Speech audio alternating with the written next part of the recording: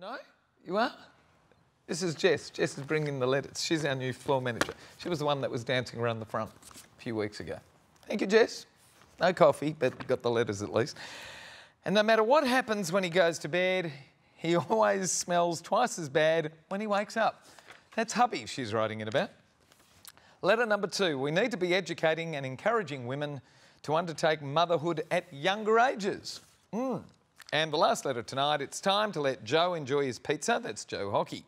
And it's time to let the rest of us pursue life without the rampant levels of red tape, regulation, and rampant restrictions. All these letters and more. Hopefully, I'll get a coffee. The panel will be here in about 20 seconds. Don't go away. Sweet and sour coming your way now. Got a problem, big or small? Would a miracle be nice? Our motley crew is back, churning out advice. You might even laugh a bit in the following half hour. Park your backside on the couch, cause baby, it's time for sweet and sour. Right here on Sweet and Sour. Yeah!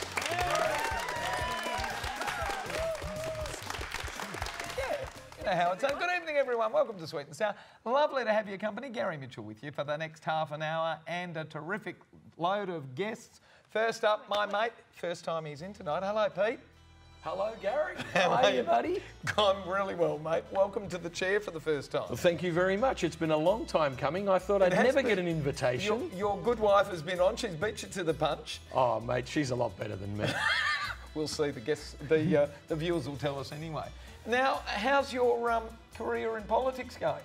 Because you are the only person in history, I understand, who's actually sat in the Victorian Parliament and the West Australian Parliament. Apparently so. Apparently so. And it's Wow. more fun over here in the West, I've got to say. Because, Um, simply because Western Australia is a much better place to be. That's why I'm here, mate. well, I like it. We like it. Do we like We it? like This it. goes nationally, right? Oh, that's cool. Victoria is okay, but t- I tell you what, people in Melbourne, come on over to Perth. You don't know what you're missing. Yeah, all the soy's watching now.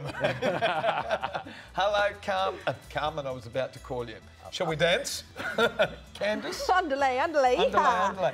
And we, we actually we've got a letter about Carmen, but that's coming on in another week. You know how Oh, I we wish we, I was we on that. cancelled and then we put back Carmen, Carmen- onto the uh, On arts the agenda. Operatic agenda. Carmen is my favourite opera and the only one I can actually sing. Can you actually sing it? Yes. Give us a three second rendition. L'amour est un oiseau rebelle. That'll do. Wow. we'll invite you I back on I, this show. I hope I didn't bust the microphone. wow. I'm sorry. Very good. Hey, sound. Did you pick that up all right? Good I don't have know, you probably not so much. Hello, Al. Hello, Gary. What are you going to sing for us? Oh, I used to sing What did you used to uh, sing? jingles and at weddings and stuff. Did you really? There's, there's not a lot you haven't done. I know I've done everything. And where have you been? Did you know that song? I've been everywhere. Well, Uh, I used to sing uh, at karaoke. I still do. Is a I've never been to me. Oh, I know uh, that not song. tonight. To Well, no, no. paradise, but I've Ah. never been to me. Can we have? What about opera? Do you like opera? I love opera. I'd love to sing opera. I reckon I could if I had a go at it. All right, Jono. What are you singing for us tonight? Oh, I think after my effort on the 600th show, I don't think I'll be singing anymore. Oh, you've seen some of the emails. Unfortunately, I was too much of a diva and trying to keep up with Alex. I was doing harmonies, and then he started singing harmonies with me instead of keeping his. I remember I was there. That was hilarious. all right, great to have you all in. Are you ready for letter one? Yes. Here we go. And Candice, you're on notice. You're first up. Dear Mitch and panel, I'm so sick of double standards. Specifically, my husband is completely intolerant of any pets sharing our bed. He's simply not an animal lover and just doesn't like any animal at all. He yells and screams and traumatises both me and the Stiffies, two pups, and he curses about uh, about because I just said Stiffies, didn't I? You did. Staffies. I think Staffies. Yeah, well, they're- it's the bedroom. And he curses about because he doesn't think it's hygienic to have dogs in the bedroom. Well, there's the double standard because I keep these two dog, uh, gorgeous dogs utterly clean in every respect. My husband, on the other hand, comes to bed without washing and often stinks to high heaven of one thing or another. And no matter what happens, when he goes to bed, he always smells twice as bad when he wakes up. I suppose we all do. So, what can I do here? These puppies that I keep very clean need a lot of attention, and my husband just needs to evolve. How do I get him to do that, please? Comes to us from Beth of Nunawading in Victoria. Candice, two issues there. There is. Dogs do not need to be in the bed. They don't need to be in the bed.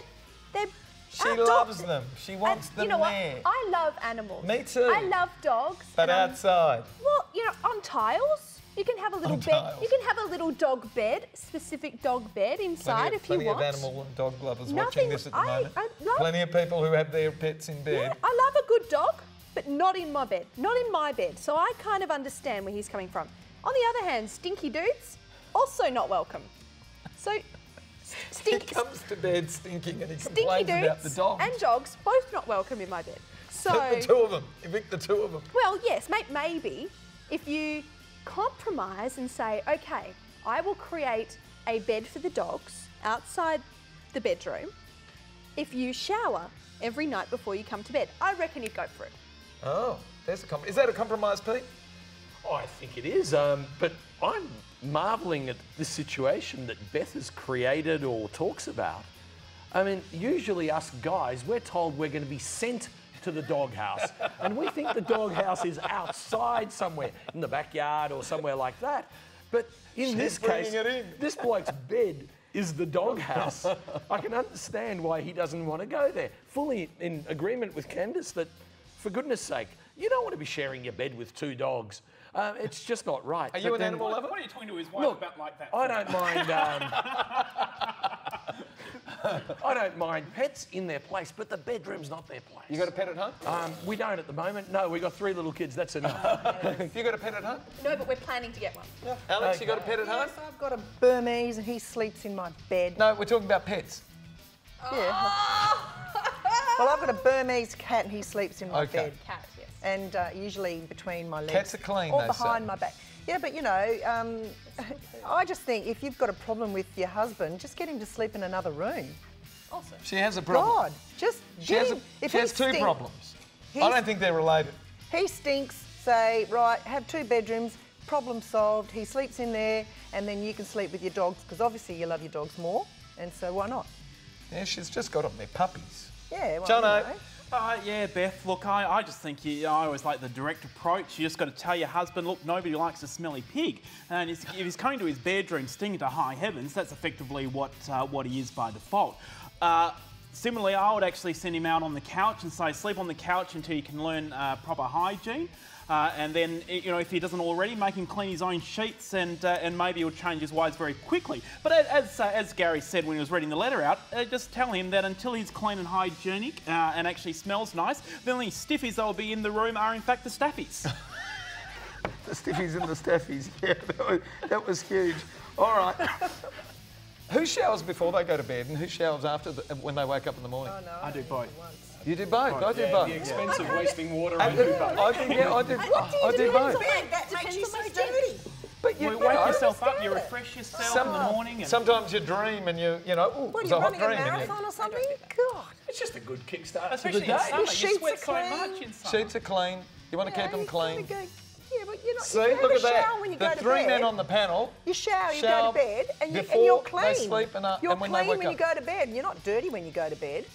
Oh, you don't know. Well, Men are naturally dirty. go to Let's the just go with it. So Beth's husband, if you're listening, if you're watching, remember the three men on this panel, we shower regularly.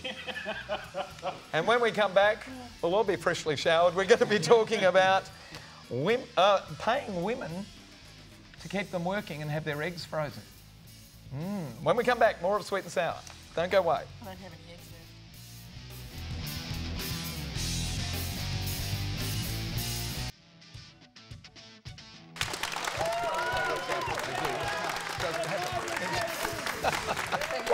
Sweet and Sour. Now, if you'd like to send us a letter and have it discussed by the panel, send it to the address on your screen right now, which is letters at sweetandsour.net.au.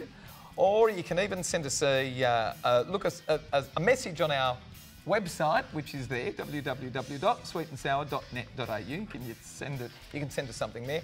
You can give us a like on Facebook, and you can even send us a tweet now. And for every letter that we do read out and discuss on the panel, we're going to send you to the movies. And this week we're sending you to My Old Lady, courtesy of the very gorgeous. What's her name? Natalie O'Shea.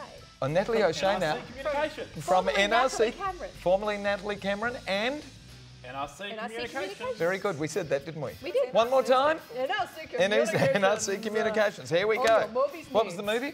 My Odd Lady, starring Maggie Smith. There you go, Nat. There's a plug. Hello, panelists.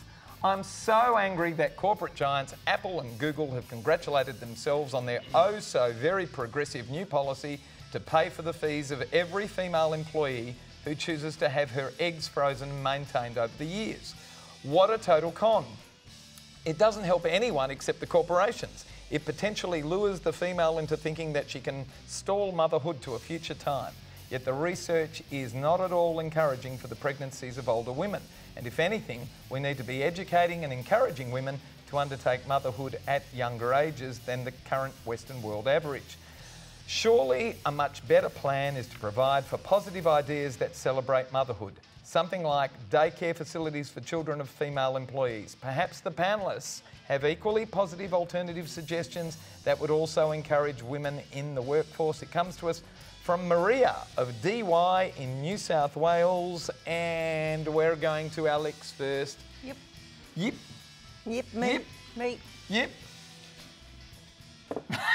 Oh. After all this oh. time, you finally I know what, what, I- what camera. Did you see that? I dodged that. You did, you did. Volleyball. Yes, I think it's a good idea actually.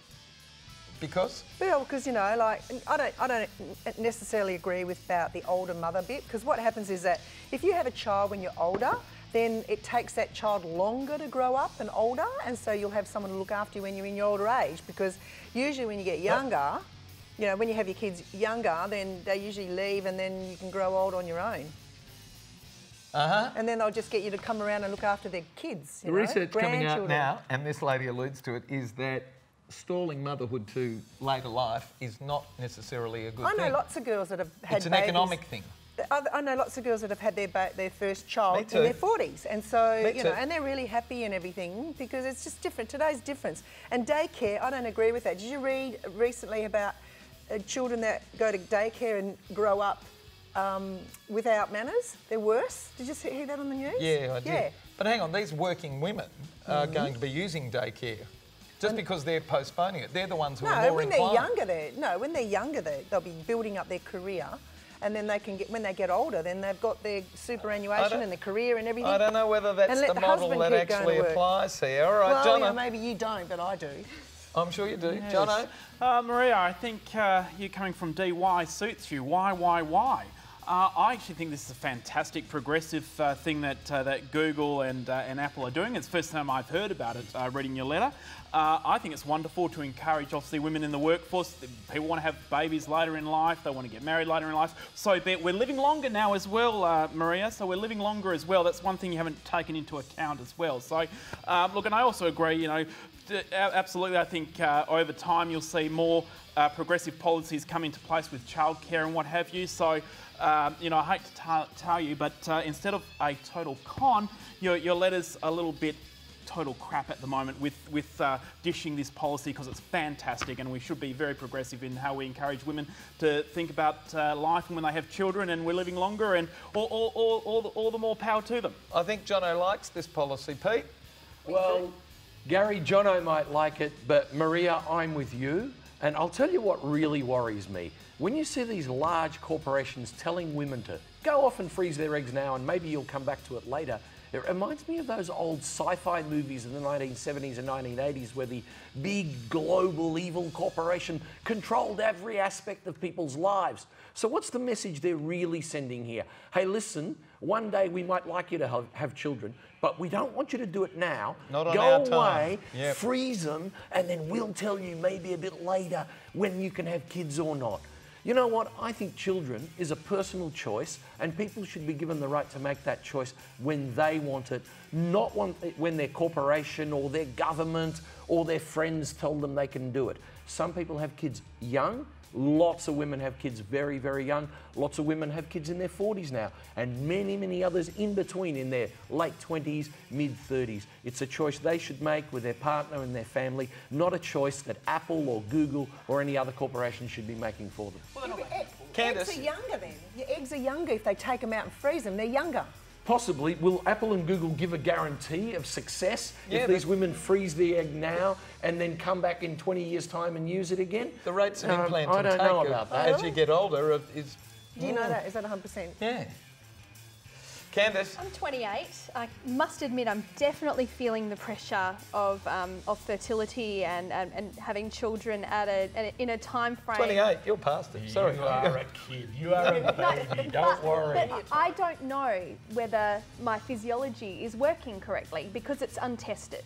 So if I do have fertility problems, I would rather know about these things Now. early rather than, you know, I'm very career focused. I don't necessarily, for my personal choice, want to get to 35 and have a doctor say to me, you know what, you might have been better off a couple of years ago. I know I definitely want children. But the two issues I have with this are um, they're going to have access to the eggs. I think it's a good policy in general. They're going to have access to the eggs. What else are they going to have access to medical wise? Are they going to know what quality your eggs are and therefore perhaps factor that into promotion decisions? I think what we really ignore as a society is um, the, the needs of men. The needs of men to have flexible working hours and to contribute as parents as well. It shouldn't all be about the motherhood. Vote for They, you. they, they just freeze men's sperm as well, I have to say. Freeze men's If they sperm want as well. I Not think only the that's eggs, but the sperm as well. I think that's fair. It's a sexist We're going policy. to Thank you very continue much, this Candice. discussion with conversation about red tape and regulation, or the over re- uh, regulation of our society. When we come back, more of Sweet and Sour. Don't go away. Whether you like it sweet or sour, tune in because we've got something for every taste.